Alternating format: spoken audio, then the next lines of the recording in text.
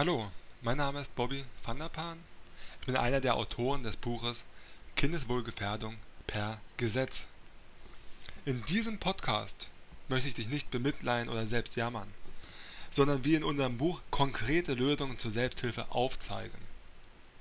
Ich will dir erzählen, warum du Gutachten ablehnen solltest, wie du Gutachten erfolgreich ablehnen kannst oder wie du sie selbst qualifiziert widerlegen kannst, falls du oder deine Kinder bereits Opfer geworden sind. Warum wählen Richter in Familiengerichtsverfahren meist betreffend Umgang und Sorge Gutachten? Zum einen, weil sie selbst lediglich Recht gelernt haben oder zumindest gelernt haben sollten, aber nicht im Ansatz, was der unbestimmte Rechtsbegriff Kindeswohl, wonach sich alles in einer solchen Verhandlung eigentlich entscheiden sollte, bedeutet. Zum anderen, weil sie die Verantwortung abdelegieren wollen. Eigene Zeit sparen, weil sie selbst viel zu lange bräuchten, die dicken Akten zu lesen und auszuwerten. Auch wenn Richter es eigentlich müssten. Das Fatale ist jedoch, dass jedes mir bekannte familienrechtliche Gutachten Willkür ist und zudem die Eltern und damit das Kind etwa 5000 Euro, oft sogar mehr, zu tragen haben. Ein verdammt teurer Würfel. Jetzt möchte ich dich fragen, möchtest du um das Schicksal deiner Kinder würfeln? Ich denke nein. Und daher verrate ich dir jetzt, warum es willkürlich ist. Jedes Gutachten muss die sogenannten wissenschaftlichen Mindestgütekriterien erfüllen. Die Hauptgütekriterien sind Objektivität, Reliabilität, Validität. Pass jetzt gut auf. Ich möchte dir nur an einem Beispiel diese Gütekriterien erklären. Wir nehmen mal die Frage nach der Bindung, welche von Familienrichtern häufig gewählt wird. Objektiv wäre ein Verfahren, in dem ein Verfahren angewandt wird, in dem auch unterschiedliche Gutachter zwangsläufig zum gleichen Ergebnis gelangen. Angenommen, ein Gutachter stellt den Eltern Fragen, erhält Antworten und trifft daraus seine Entscheidung. Ein anderer Gutachter stellt andere Fragen, erhält andere Antworten und trifft eine andere Entscheidung. In der Folge wäre die Methode nicht objektiv. Die Objektivität ließe sich jedoch hinbekommen. Angenommen, wir hätten einen Raum mit einer Tür. In den Ecken sitzen Mama und Papa. An den Seiten des Raumes sind verspiegelte Scheiben, durch die Gutachter durchsehen können, aber die Eltern und das Kind nicht heraus.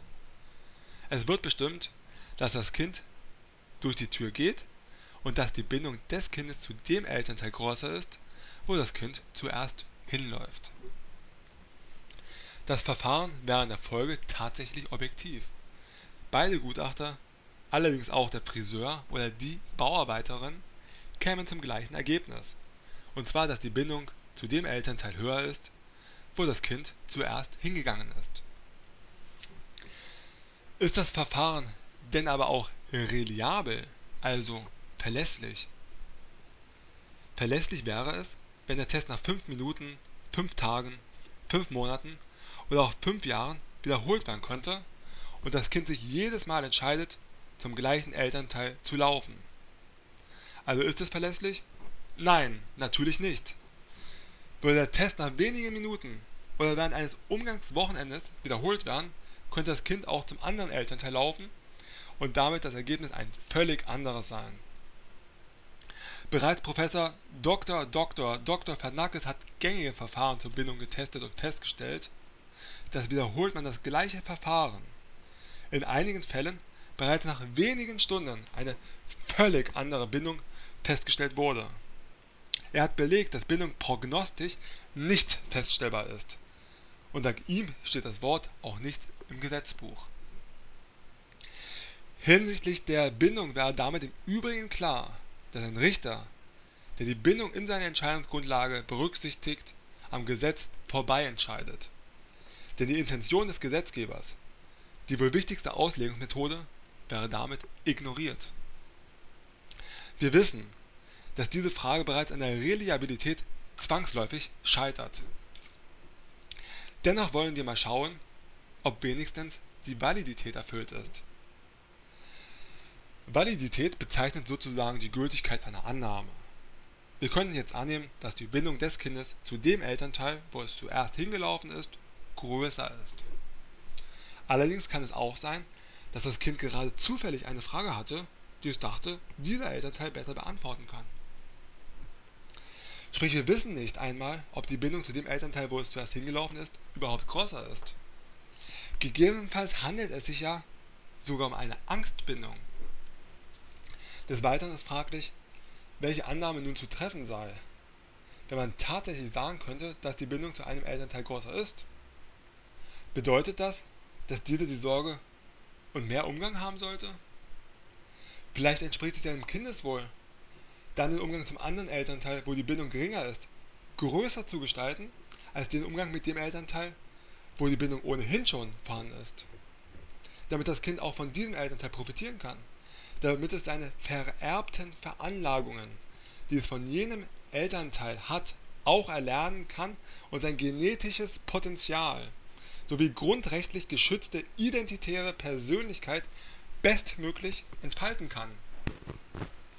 Wir stellen also fest, das familiengerichtliche Gutachten nichts weiter als ein teurer und gefährlicher Würfel ist. Jeder Mensch, der mit Hilfe einer Gebrauchsanleitung einen Schrank zusammenbauen kann, kann auch eine normierte Methode anwenden. Daher hilft es auch nicht, wie viel ein Mensch gelernt hat oder nicht. Auch ein Psychologe mit vielfachen Doktortiteln oder die Bauarbeiterin oder der Friseur wird kein unwillkürliches Ergebnis zum Kindeswohl liefern können. Außer es ist die gemeinsame Sorge und die Betreuung 50-50. Nach dem Verständnis nun zur Lösung. Zum Glück kannst du Gutachten ablehnen. Die Ablehnung darf dir auch nicht negativ ausgelegt werden. Bereits das Bundesverfassungsgericht hat dies bestätigt.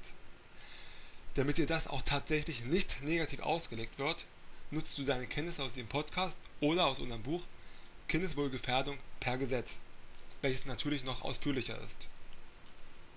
Die Quelle zur Ablehnung von Gutachten kannst du dir sowieso kostenlos auf unserer aktuellen, noch nicht ganz fertigen Seite www.geld-für-kinder.de ansehen. Solltest du diesen Podcast zu spät gesehen haben, kannst du ein etwaiges bereits erfolgtes Gutachten damit qualifiziert widerlegen. Und wisst ihr, was das Beste ist?